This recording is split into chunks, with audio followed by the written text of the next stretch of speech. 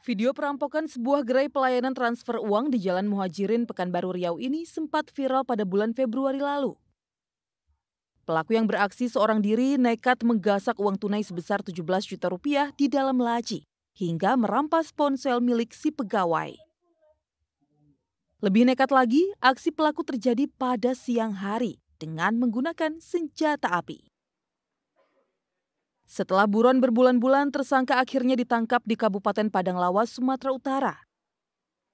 Satu tersangka lainnya juga ditangkap karena terlibat menyewakan senjata jenis airsoft gun kepada tersangka utama.